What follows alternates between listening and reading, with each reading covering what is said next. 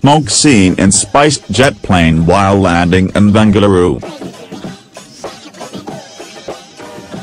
The flight Q400, however, made a normal landing as the pilots did not seek for any emergency landing, a SpiceJet statement said, confirming about the incident. There was no report of injury to any passenger.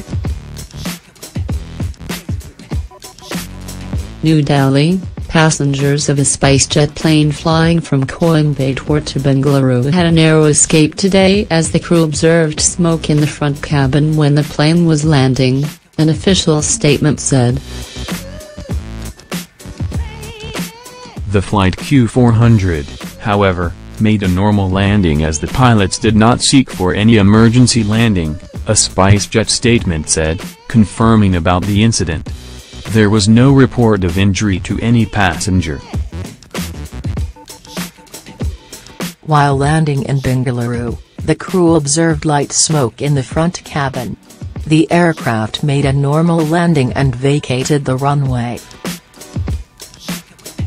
Neither did the pilots seek nor was there any requirement of an emergency landing, the statement said, adding the passengers were deplaned safely in a normal manner.